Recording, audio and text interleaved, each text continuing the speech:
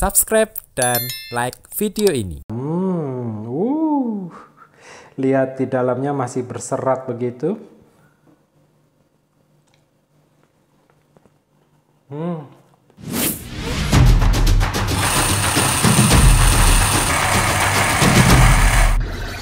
Gunners, untuk mendapatkan resep-resep lainnya, subscribe dan like video ini. Semangat pagi Gunners, kembali lagi dengan saya Samuel Gun. Kita jumpa di channel This is Gun. Masak mudah, nggak bikin lelah.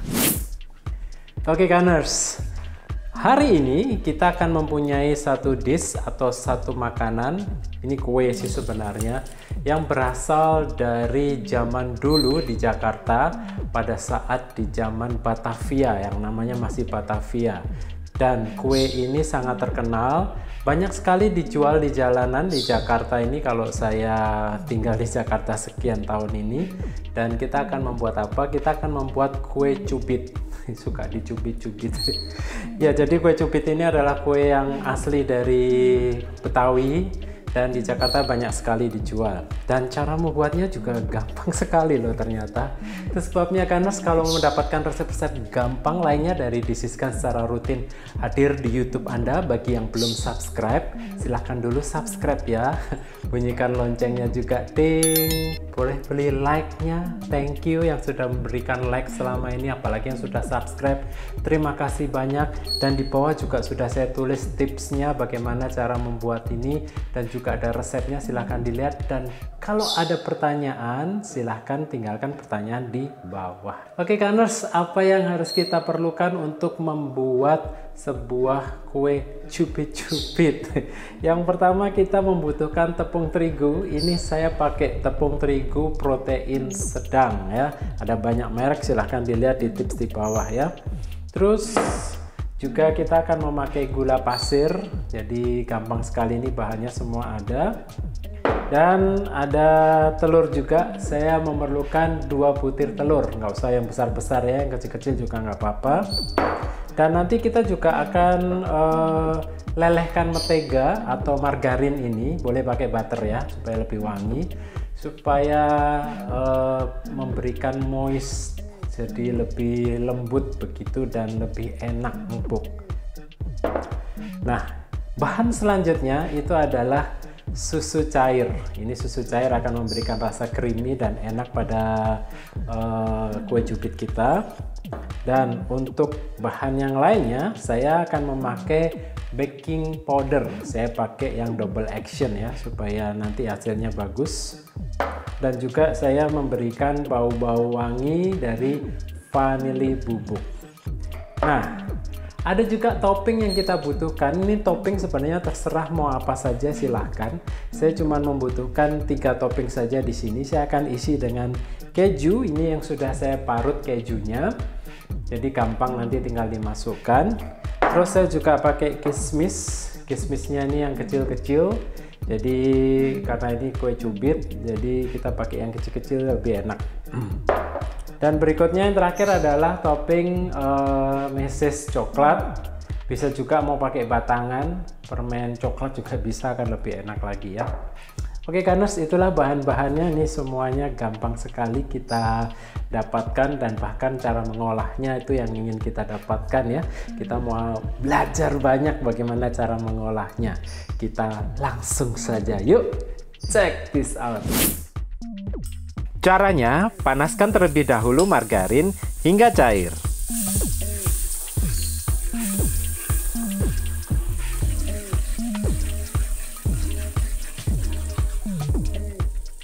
Langkah berikutnya, tuang gula pasir pada baskom bersama dengan dua butir telur,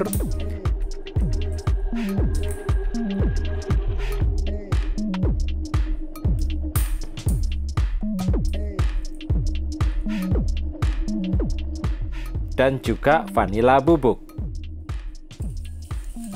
Kocoklah hingga tercampur rata.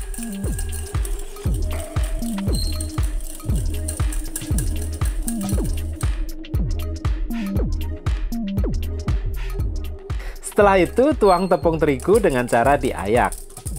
Tuang separuh dulu ya.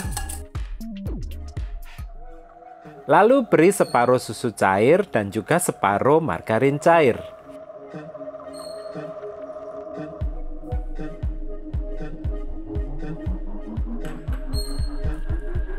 Aduklah sampai tercampur rata.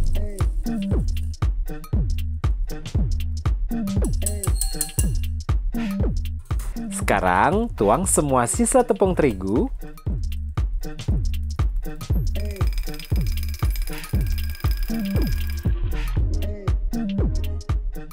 susu cair dan mentega cair.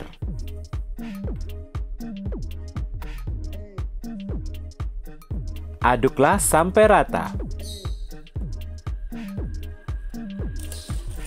Perhatikanlah konsistensi seperti ini ya.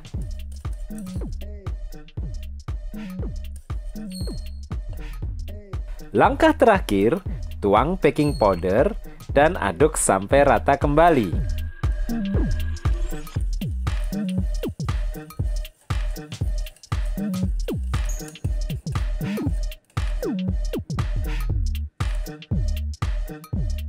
Diamkanlah sekitar kurang lebih 20 menit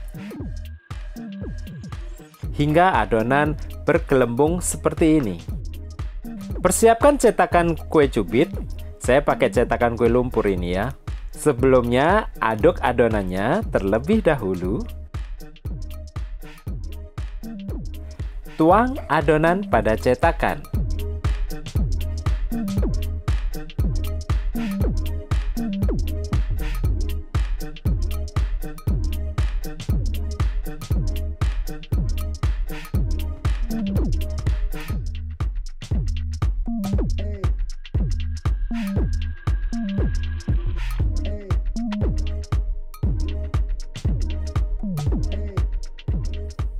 Tutup cetakan selama kurang lebih 2 menit.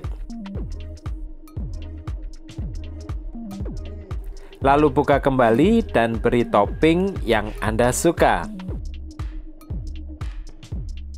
Tutup kembali cetakannya dan biarkan kue cubit hingga matang. Karena saya ingat sekali pada saat saya di karantina di MasterChef Season 4 ada teman saya yang mengajari saya bagaimana cara membuat kue cubit ini. Saya belum pernah tahu waktu itu dan sekarang inilah saatnya kita membuat sendiri kue cubit yang paling enak.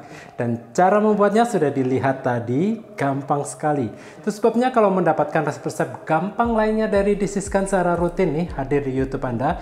Bagi yang belum subscribe silahkan subscribe dulu bunyikan loncengnya ding boleh beri like-nya juga ya kalau suka dengan channel ini. Terima kasih yang sudah memberi like, apalagi yang sudah subscribe. Boleh juga loh dibagikan channel ini ke rekan-rekan yang lain supaya memberi banyak manfaat. Gunners, dari apa yang kita lihat di sini dan aroma yang harum sekali apalagi ada topping tiga variasi. Hmm, ini sangat-sangat harum, enak sekali saya mau langsung coba ya. Kalau saya kopek saya ambil yang coklat saya kopek yang coklat. Hmm uh. Lihat di dalamnya masih berserat begitu. Dan kita makan. Hmm. Lembut sekali. Dan ini kalau dijual pasti laris dah Hmm, banyak gampang, bahannya juga gampang. Enak banget. Kue cubit yang sederhana ini ternyata ketika kita jadikan sebuah kue yang mewah dengan topping yang enak sekali akan menjadi sajian keluarga kita yang tentunya dicomot lagi, dicomot lagi, dicomot lagi cepat habis. Nah, Gunners, kue cubit yang gampang dari disiskan ini silakan dicoba di rumah. Gunners untuk mendapatkan resep-resep lainnya, subscribe dan like video ini.